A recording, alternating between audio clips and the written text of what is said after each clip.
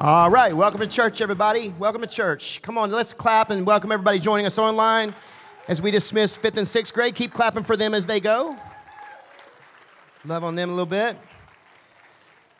Well, here we are, week five of the series called Around the Table, where we have been intentionally focusing internally.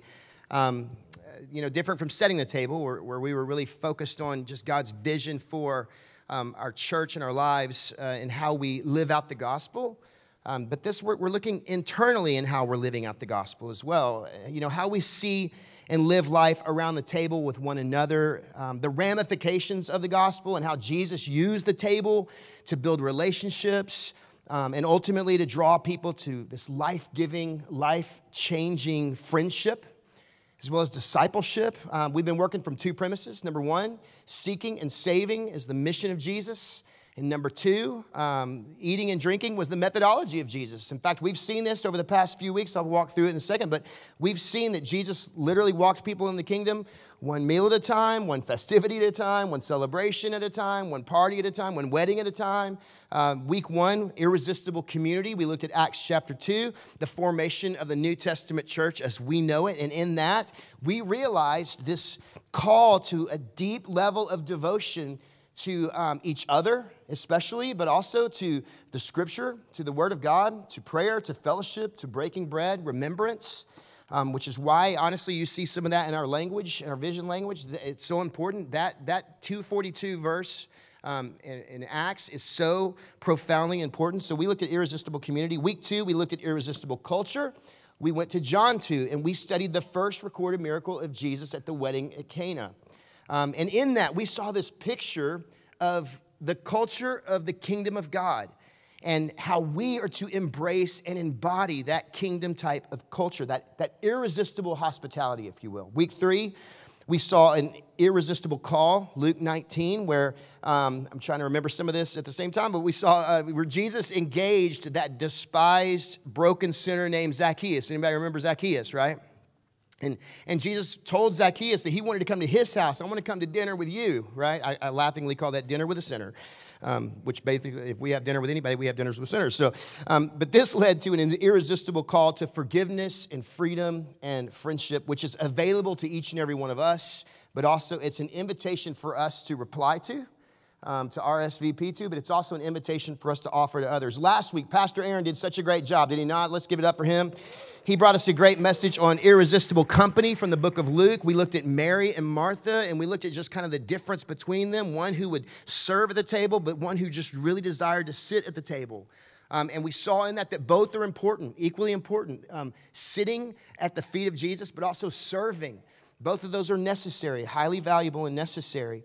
Um, today, I want to turn our attention to Matthew chapter 26. So, if you've got a Bible, would you please go there? Matthew 26. We're going to have scriptures on the screens for you. If you do not own a Bible, at the response tables up front and in the back at the information center, there is a physical copy of a Bible. We'd love to give that to you as a gift. I believe everyone needs a physical copy in this digital age. We need a physical copy of the Bible. So, go to Matthew 26. We're going to see a beautiful picture of irresistible compassion.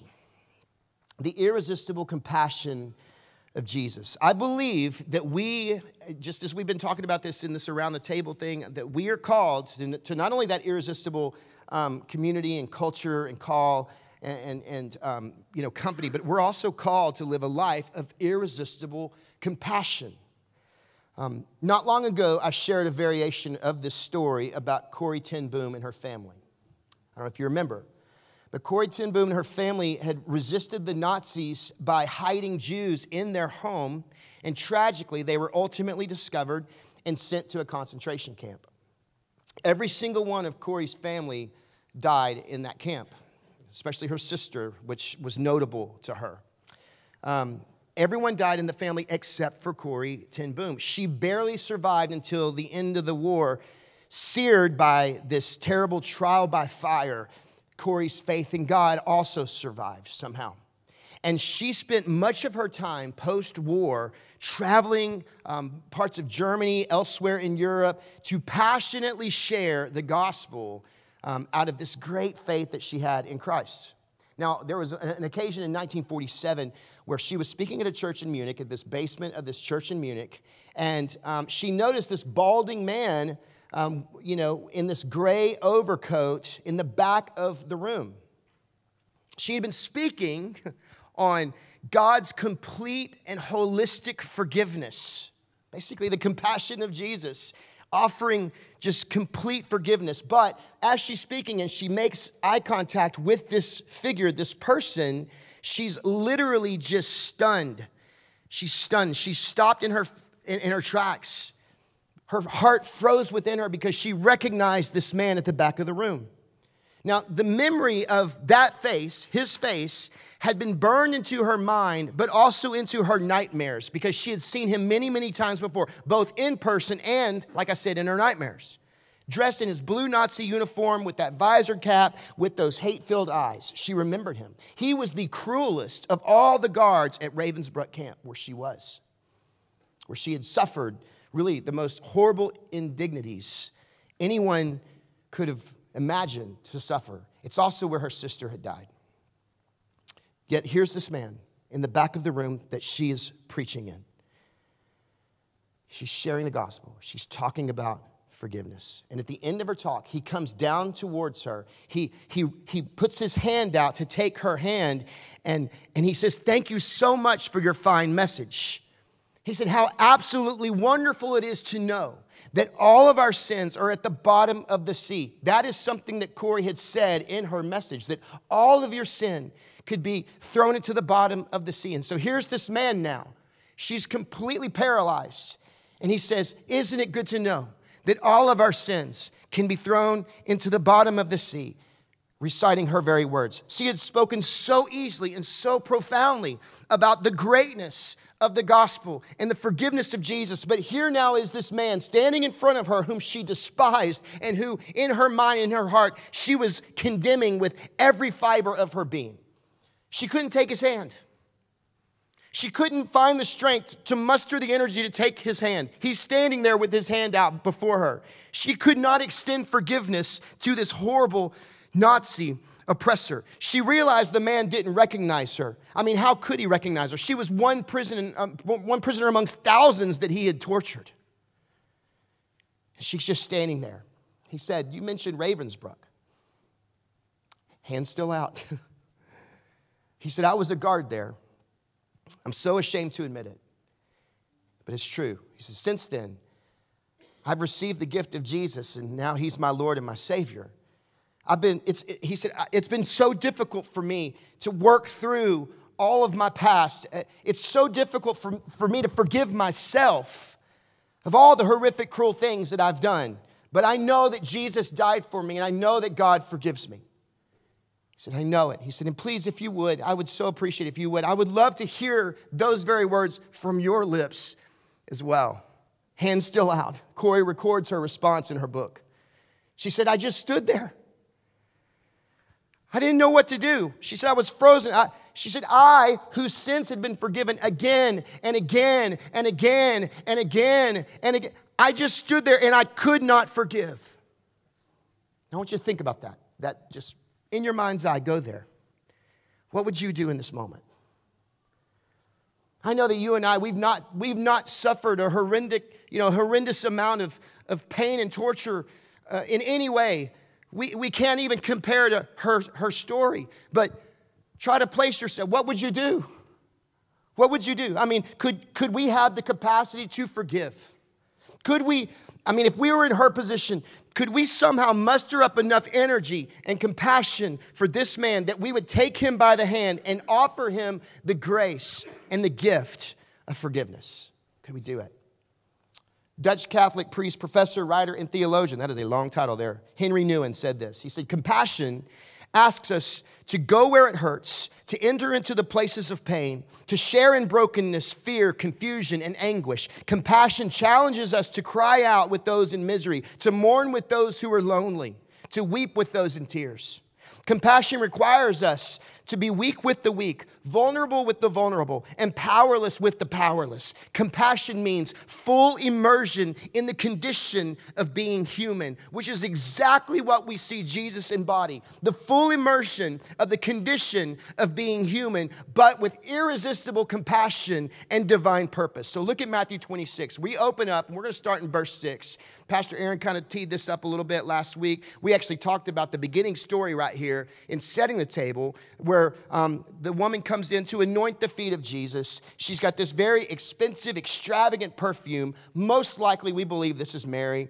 Um, and, and we see verse 6 where, where she's doing this act, this, this act of sacrifice with this perfume to anoint Jesus. And let's pick up in verse 8 because we see his response to the activity here. The disciples, there's a lot of response going on, but the disciples in verse 8, they are indignant when they see this happen and they say, What a waste that was. Look at 9. He says, It could have been sold for a high price and the money given to the poor. But Jesus replies this Why would you criticize this woman for doing such a good thing to me? So here's some perspective. And we said this during setting the table, but what some of the disciples, notably Judas, what some of the disciples considered a waste, Jesus considered worship. I mean, this prophetic act of sacrifice mattered to Jesus and it ministered to Jesus. Look at his response in 11. He says, You're going to always have the poor among you, but you'll not always have me. He says, She's poured out this perfume on me to prepare my body for burial. That's why I say this, this prophetic act that she just did. Jesus goes on. He says, I tell you the truth. Wherever the good news is preached throughout the world, this woman's deed will be remembered and discussed. Now, this is important. Watch what happens next in 14. Then Judas goes to the leading priests and asks, Hey, how much will you pay me to betray Jesus to you? So they give him 30 pieces of silver. From that time on, don't miss it, Judas began looking for an opportunity to betray Jesus. Judas began looking for an opportunity to betray Jesus. Now, let me just say this we, we need to be on guard, and here's why. Because the spirit of Judas is alive and well today. There will always be a Judas in your camp looking for an opportunity to betray you. Some of you have felt betrayed, some of you have been betrayed. Uh, uh, are you, are you, does that resonate with you at all? Um, or it could just be that the depth of idolatry in our own heart could very well cause us to do things that we can't even imagine we'd ever do to somebody else. Maybe we are the betrayer in some situations. Now, scripture says in 16, from that time on, Judas began to look for opportunity of how and when he could betray Jesus. So let's keep going. Look at 17 and 18. On the first day of the festival of unleavened bread, the disciples come to Jesus and ask, Hey, where do you want us to prepare, prepare the Passover meal for you? Jesus says, As you go into the city, you're going to see a certain man. I want you to tell him that the teacher says, My time has come, and I will eat the Passover meal with my disciples at your house. I love how Jesus does this. It's so smooth and eloquent. He did it to Zacchaeus. Remember, hey, Zach, I need to come to your house. Right here, we see the same thing take place. Um, tell the man that you see that my time's come and I'm going to come over with my dudes and we're going to have a meal at your, hey, cook some stuff. I'm, i might do that. I might call you one day and go, hey, I'm coming over. Cook something good. I'm bringing 12 people with, right?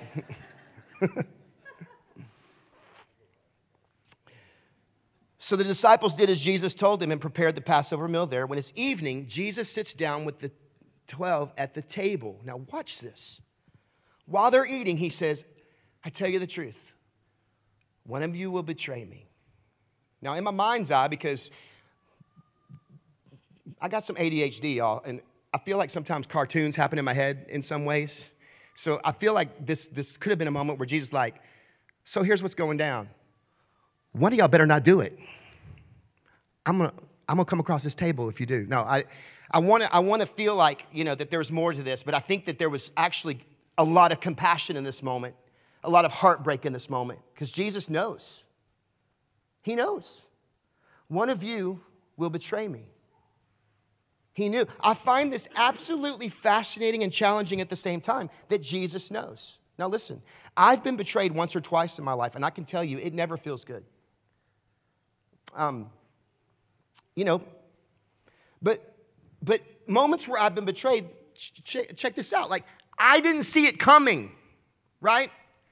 It took me off guard. It took me by surprise. I was completely blindsided, especially a couple times that it's happened. And, and I didn't see it coming. And if I'm being honest, man, in those moments, it's like the rug's pulled out from under me, and I'm stumbling around just trying to keep my step, trying to stay standing, especially at the hand of maybe who was betraying me at that time. It's tough, especially when it comes from someone that you would never expect that it should ever come from someone close, someone dear, not just near. When it happens, man, it's tough. But listen, those moments, for me at least, as they've taken me by surprise. Um, and then it le- listen, and then it leads me to have to do this work, right? And, and maybe you too, but uh, I got to figure out now how do I get through this? How do I get through this scene? How do I forgive? How do I offer maybe the benefit of the doubt? How do I move on, even? What do I do with this, right? So I cannot imagine that Jesus is sitting there knowing that it's coming, okay? He's knowing that it's coming, and he still chooses to do what we're about to see him do. This is why I say Jesus is the embodiment of irresistible compassion. Look at verse 22, actually 22 through 25. Here's what happens. The disciples are in distress. They're trying to figure out who is it that Jesus is talking about. And look at 25 because Judas has the audacity to say, "Rabbi, am I the one?" And Jesus says, You have said it. Yet, even still, verse 26 happens. As they're eating, Jesus takes some bread and he blesses it. And he breaks it into pieces and gives it to the disciples, saying, Take this and eat it, for this is my body. And then he takes the cup of wine and he gives thanks to God for it. And he gives it to them. He gives it to them. And he says, Each of you drink from it. This is my blood, which confirms the covenant between God and his people. It is poured out as a sacrifice to forgive the sins of many. This passage right here, I hope we never get over this. In fact, you know what the word passion means? It's not the way we use it, right? Like, I am passionate about donuts. It's not that, right? There was a time in life that I was, I, really liked donuts. Or maybe the way some of you, like, I'm super passionate about golf. Here's the true story I am bad at golf. If I'm trying to hit the ball that way, somehow it's going that way because I'll catch it on the back, right? It's embarrassing. It's terrible. Like, why would I spend so much money on a hobby that I hate? I am, I am passionate against golf, right? So, but you know what passionate? Passionate means suffering. That's what it means. There's a suffering in passion. And so I, I am literally praying passionately, are you with me? That we cannot get over this scene. Jesus knows betrayal's coming, yet he's still willing to give the bread. I hope that we become so enraptured by this moment that we just read about that our hearts are so gripped by the grace and the compassion of Jesus in this act of mercy. He is taking the bread, breaking it, saying, This is symbolizing my body that's about to be broken for you. He's taking the wine, giving thanks for it, saying, This wine is symbolizing the blood that I am willingly and obediently and humbly about to spill out for you. All to confirm or to prove that He is making a way for the promise between God and us. This covenant. He says it's poured out as a sacrifice to forgive the sins of many. His blood will be poured out as this willing sacrifice to forgive the sins of many. I hope that wrecks us and we are overwhelmed with the humility and, and just so much gratitude because of what Jesus just did in this moment. Listen, Jesus knew that he was going to be betrayed, yet still he was willing to become the bread for the betrayer. He knew that he was going to be betrayed, but he was still betrayed, but he's willing to be the provision, regardless of the pain. For even Judas. So let's all see this truth this morning. Jesus knew betrayal. Listen, if you have ever, ever walked through betrayal, And I'm, I'm going to get to a point in just a second that, that, that I don't, man, I hope that it hits because it hit me. But if you've ever walked through betrayal, know this Jesus knew it. He was well acquainted with the pain of betrayal. Whatever you have ever felt at the hand of a betrayer, um, Jesus knows. He knows it all too well. And even still, he was willing to offer the bread of life, even to the betrayer. Even in a moment, listen, he could have had every right to complain, to be offended, and to even hold Judas in contempt, but he still chose compassion. He chose compassion. It doesn't end there. Look at 31. On the way, Jesus says, Tonight all of you will desert me. For the scriptures say, God will strike the shepherd, the sheep will, of the flock will be scattered. But after I've been raised from the dead, i will go ahead of you to Galilee and meet you there. Peter declares, Listen, Jesus, even if everyone else deserts you, I will never desert you. And Jesus says, Well, I tell you the truth, Pete. Listen, this very night before the rooster crows, you're going to deny me.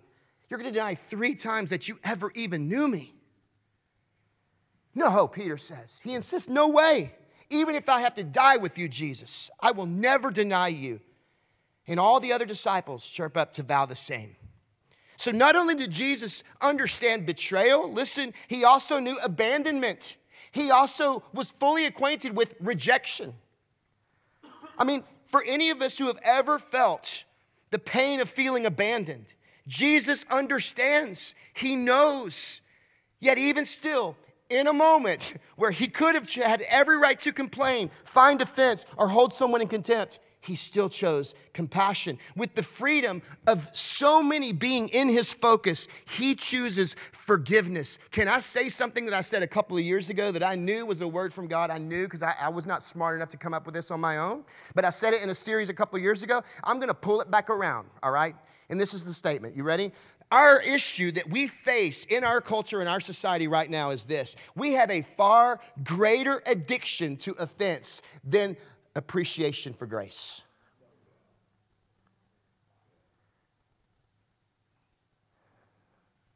But Jesus, He gives us this amazing picture of irresistible compassion. And our story doesn't end there. 36. Jesus went with them to the olive grove called Gethsemane. It's one of my favorite parts of the Bible right here.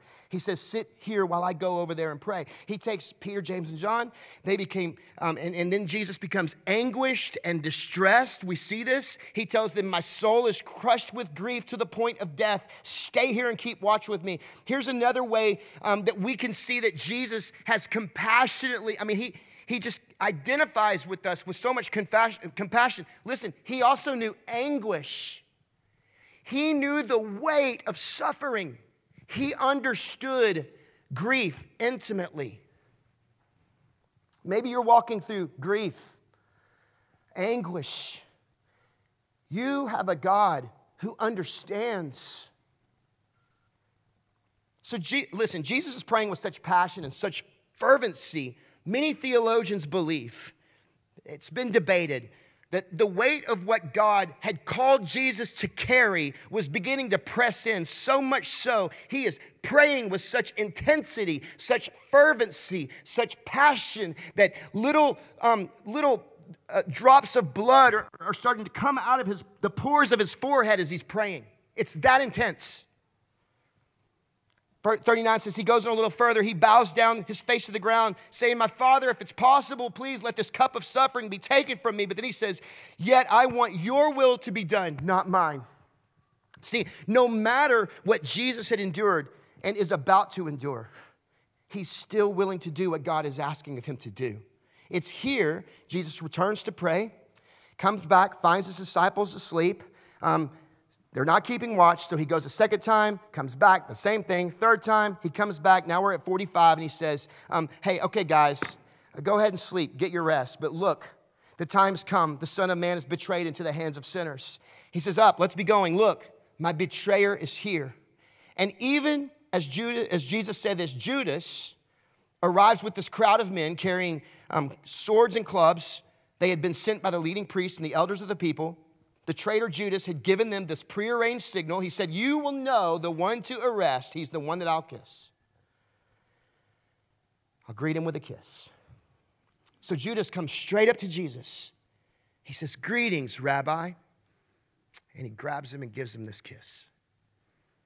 I cannot imagine what Jesus must have felt in that very moment, okay? The weight of it all starting to crush in. The sin of creation beginning to, to fall upon his body, the anguish, the hurt of denial, the, the pain of betrayal, the, the suffering, the rejection. But notice Jesus, his resp- Jesus' response. This whole message, can I say this, really boils down to two words in this next verse, verse 50. Here, notice the response of Jesus. When Judas comes and kisses him on the cheek, Jesus says, My friend, my friend, go ahead and do what you've come here for. Jesus says, My friend. No, what, no, no matter what had been said in the past, no matter what had been done, no matter the callous nature of being betrayed with a kiss, Jesus still calls Judas friend. This is irresistible compassion. Listen, what about us? What about us? No matter the betrayal, no matter the rejection, no matter the anguish that some people have put you through, are we willing to walk with people the way Jesus did? I don't know who the hand of the betrayer in your life was. It could have been your grandparent. It could have been your mom. It could have been your dad. It could have been a, a, sibling. It could have been an aunt and uncle. It could have been friendly fire. It could have been in the church. In fact, can I tell you, a lot of times it is. The, the, when we launched Declaration, I knew, man, because I was, I was a wounded, I was a wounded one. I spent a lot of years licking my wounds looking through the filter of my wounds. Can I say that? Living through the filter of my wounds, self preserving. You know, I had the Rolodex of the people that don't get calls back from John anymore. You know what I'm saying? So when we launched the church, I knew God was doing something because I got stuck on freedom myself. And I was like, wait, why, why am I, what's going on with this? Why, why, why am I struggling with this idea of freedom? July 4th is one thing, right? Fireworks, barbecue, well, okay. No, I'm talking real freedom, spiritual freedom. Someone in the room just like, boy, this is real freedom. Calm down, dude. I'm talking about spiritually alive, abundant freedom. And I was struggling. You know why? Because for 21 years, I had lived through the filter of my own rejection and pain.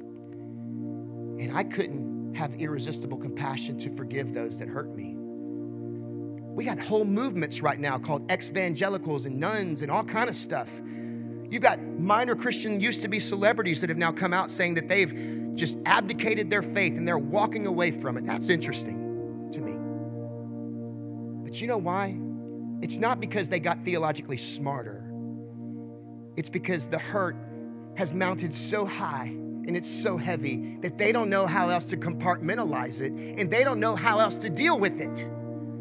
So they just walk away. And so many people, that's why we say, oh, you know, many people are fans of Jesus, just not his fan base. There's a lot of you in the house that have been wounded by friendly fire in the church. And my question is this can we have this type of irresistible compassion even for those brothers and sisters in the house that have wounded us? We all got crazy aunts and uncles in the fam. You know what I'm talking about? Maybe just chunk it to that, right? Oh, that's just, they're the crazy one. They got SAR, S A R. Some ain't right, right? It's all right. It's all right. God love them. God love them. God love them. Bless them. Bless them. You know, my, my, my pastor growing up used to say, if you ever hear somebody say, oh, bless your heart, they're really saying, oh, you poor idiot, you know? It's true. It's true. It's true. It's true. But what about us? Are we willing to walk with people? Are we willing to invite our Judas to the table and offer him bread and wine? It's tough, isn't it? But you know what? I finally decided I don't want to hold back the revival wind of God because I'm too busy holding on to my hurt, my offense. Jesus shows us this picture of beautiful, irresistible compassion. I'm wondering, are we willing to live that life? Are we willing to lay down our offense in order to give grace?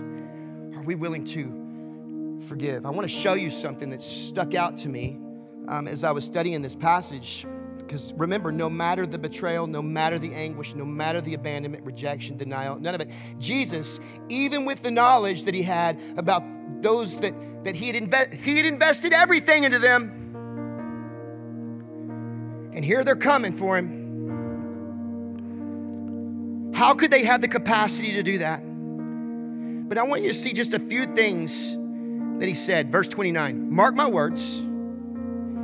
I will not drink wine again until the day I drink it new with you in my Father's kingdom. Now, we skipped that little passage. It was during the bread and wine moment.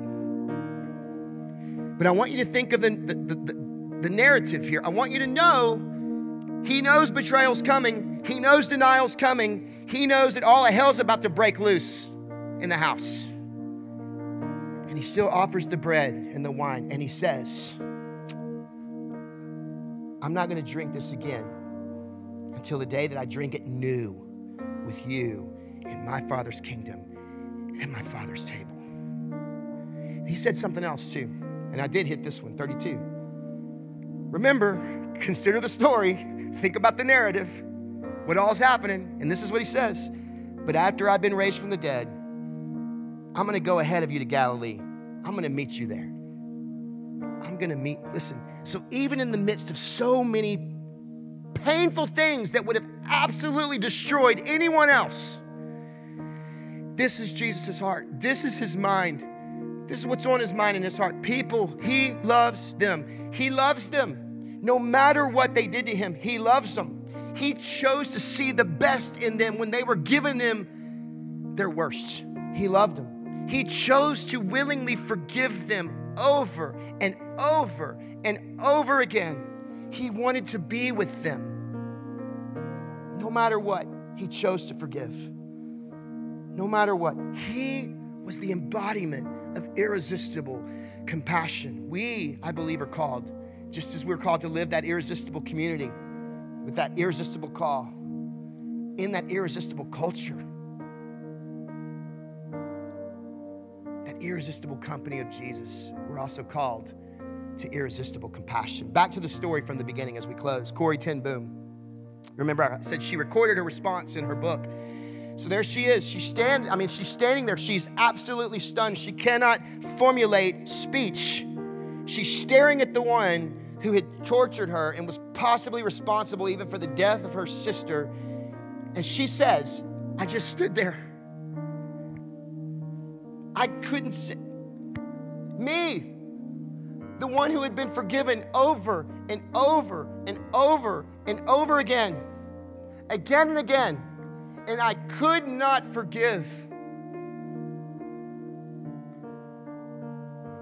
She said it could have it could have been many seconds that that we just stood there. He, he had his hand out toward me, but to me, she said it felt like hours as I wrestled with probably the most difficult thing that I was ever asked to do in the entirety of my life, more difficult than the concentration camp itself. Hear him in the moment now. I'm preaching the gospel of forgiveness. And here's this man who has represented everything horrible in my life, asking me to forgive. She said, I had to do it. I knew I had to do it. It was as simple and as horrible as that.